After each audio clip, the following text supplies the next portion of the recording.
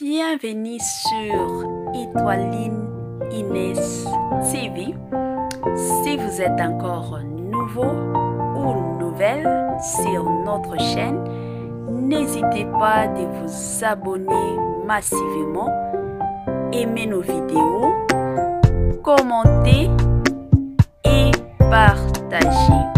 Chez Etoiline Inès TV, c'est la qualité, la différence et la vérité. Couple Roger Kalala, wana tomoni Naomi Lufiakenda à côté de son mari papa Roger Kalala lelo eza ya koinda couple na biso ya kitoko kitoko makasi couple na biso ya ba comédien couple na biso surtout ya ba star sali sali cher buchu sali cher abonné sali cher connaissance sali surtout les amis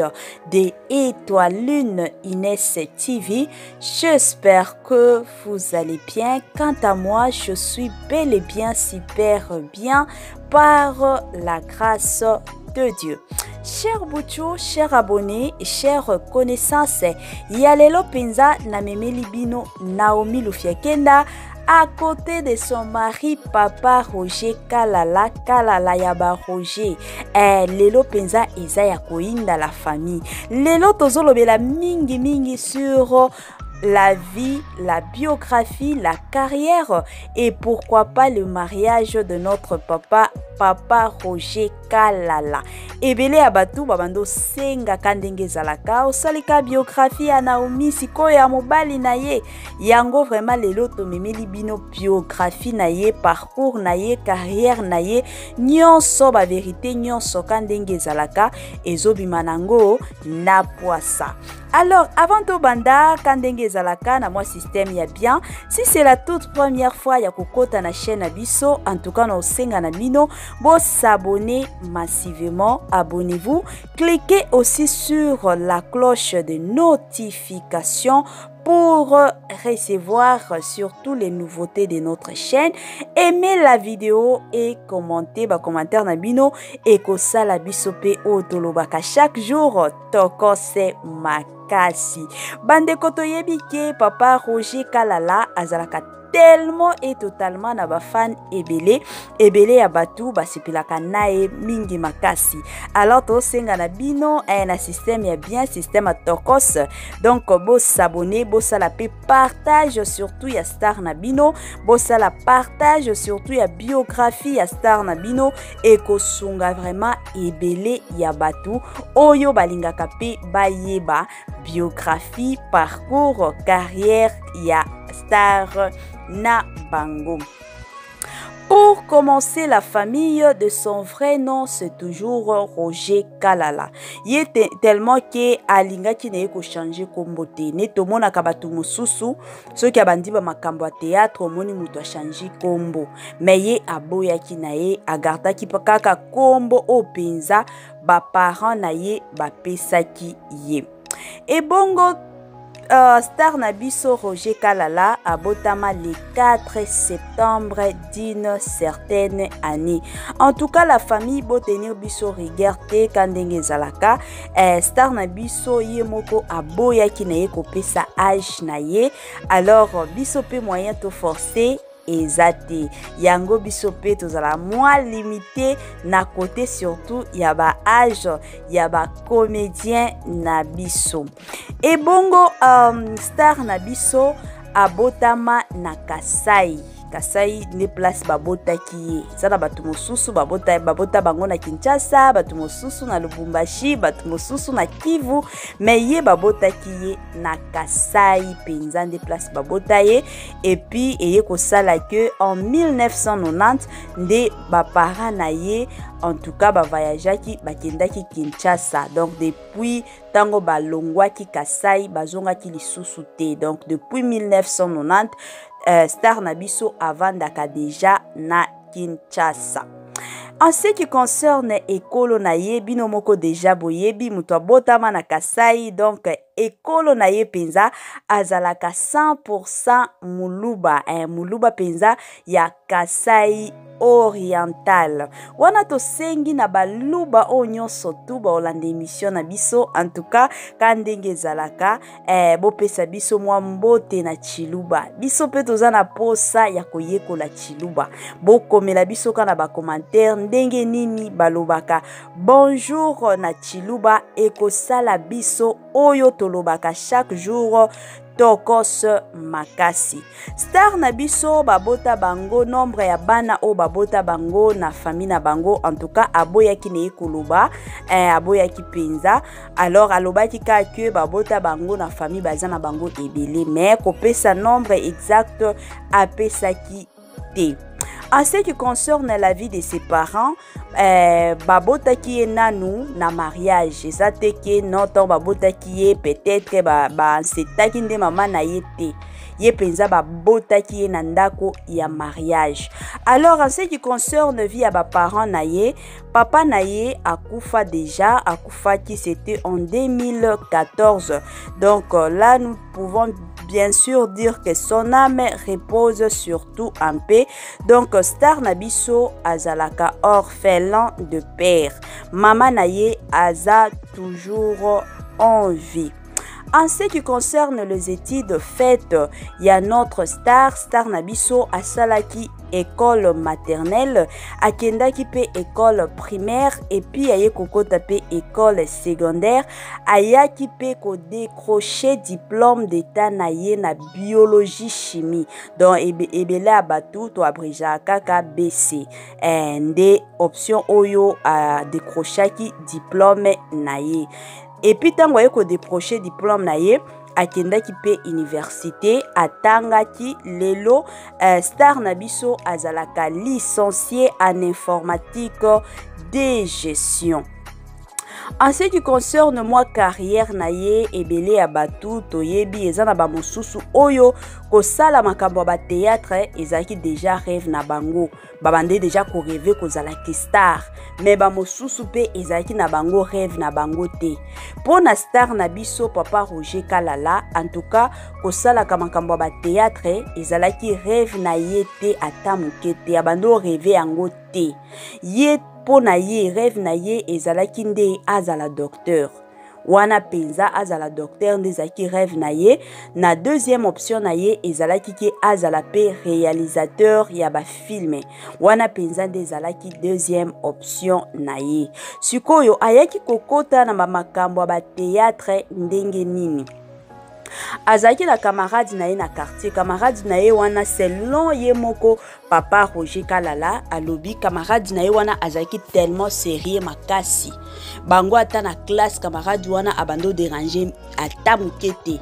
kutu papa roger moto abandi oderange na baklasse mingi makasi sikoyo camarade na ye wana abandi oderange te azalaki totalement sérieux eye kosala jour moko camarade na ye aye kobetela ye lisolo ke ah ngai nakoti na ngai na bamakambo ya théâtre na groupe oyo ya sika eza na quartier sikoyo papa roger aseki ye alobi ah oke kokota na makambo ya théâtre yo moto ozalaka totalement sérieux boye alobi yaya nakota na nga nakota na naosepela na façon bazojwaka nde ye papa roger kalala mpe alobi ah omema nga kasi nga mpe nakende omona façon bozojwaka c'est ainsi que camarade na ye wana amemaki ye na groupe ya wana ya nouvelle alliance aye komema ye kuna ntango atie jour ya liboso abandi oyoka mwa soni ka ndenge ezalaka ale jour ya mibale jour ya misato aye komesana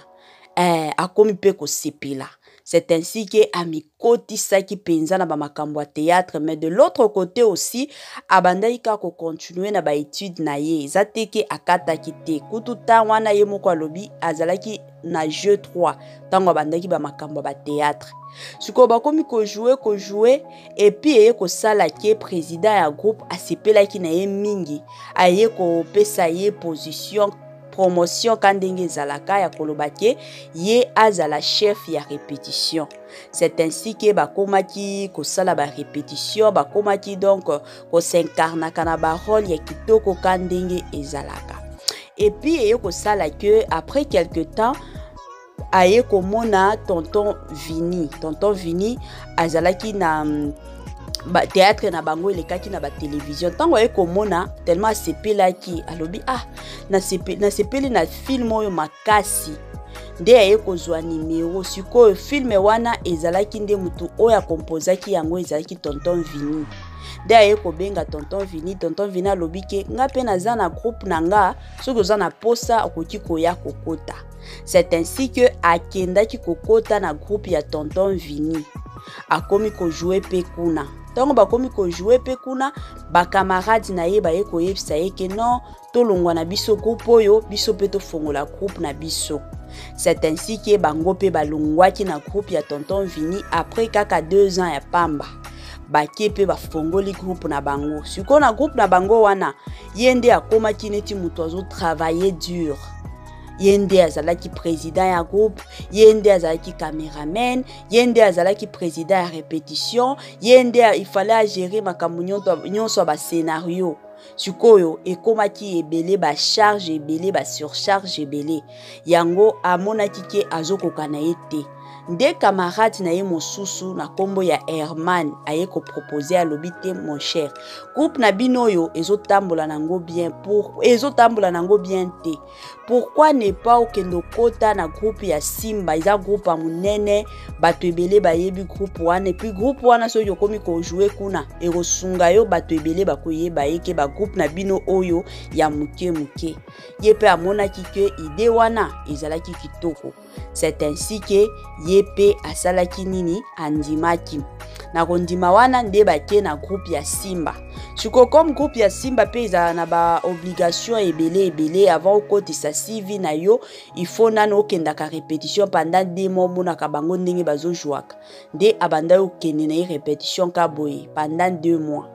Tango pe kosala ke de mois esili nde aye kosala demande d'emploi na ye asali pe lettre de motivation ale ntango akotisi nzambe ye kosunga mpe baye kozwa ye donk yango ti lelo azalaka kaka na groupe ya simba eza ka place oyo mpenza ajouaka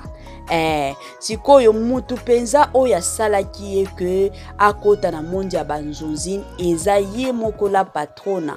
eh, poutine de l'écriture bellevie kandi kandi ya babellevie à qui d'ailleurs nous saluons en passant ye motu mpenza asalaki ke lelo oyo eh, papa na biso star na biso papa roger kalala akota vraiment na bamonde ya banzonzinga À ce qui concerne sa vie amoureuse, ebele ya bato toyebi déjà que papa Roger Kalala azalaka mobali ya Naomi Lufia Kenda.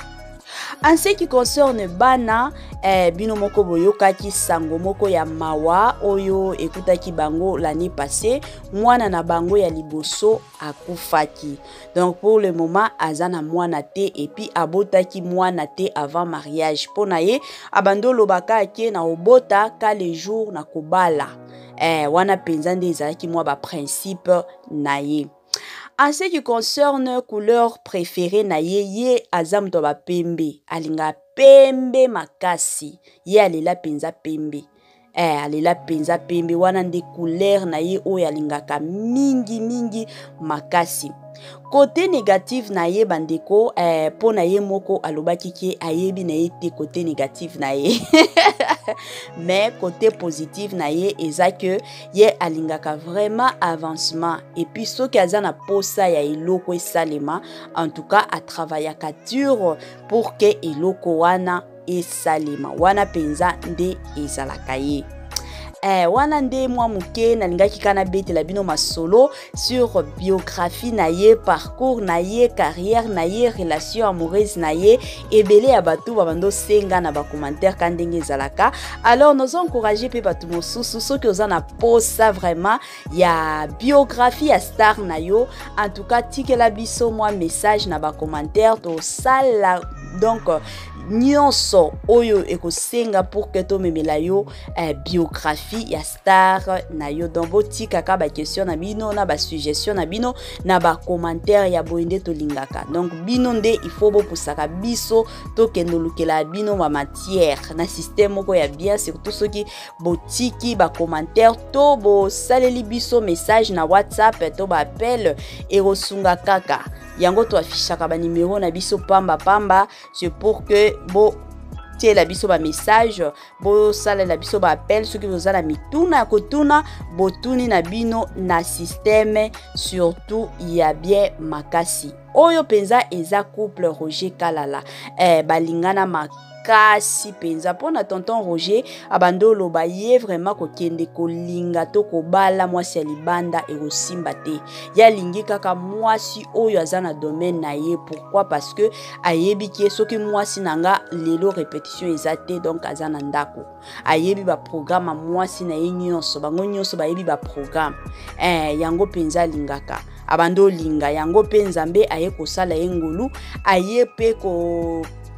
zwa mwasi kaka na domene na ye yango ti lelo asepelaka mingi makasi mpo na ye eloko oyo esalaka ke alinga lisusu naomi lufiakenda mingi makasi eza ke naomi asambelaka makasi kasi naomi aza mwasi ya bapriere parceke mwasi ya bapriere aza mwasi oyo azoprotejaka ndako na ye azoprotejaka misala na bango eh, yango mpenza esalaka ke alingaka mwasi na ye telema makasi couple oyo eza couple ya bagene eza mpe couple ya kitoko yango tosengaka surtout na bafani nyonso ya papa roger kalala bafani nyonso ya naomi lufiakenda chaque jour ntongo bosambelaka en tout cas bosambelaka mpe mpo na couple na bino couple na biso ya kitoko nzambe ya lola acontinue toujours koprotege bango nzambe ya lola acontinue toujours koepargne bango na bamakambo nyonso ya mabe na nkombo na yesu eh, wana bosala mwa partage partage partage surtout ya video oyo bandeko ekosunga mingi makasi biso tolela partage pas possible tolela vraiment partage cher buchu cher abonné et cher connaissance tokomi na mwa suka ya biographie ya parcours ya carrière surtout ya star na bino ya monene wana na osenga na bino ka ndenge ezalaka bosalaka partage partage partage bye bye la famille et à la prochaine. Que Dieu vous bénisse abondamment.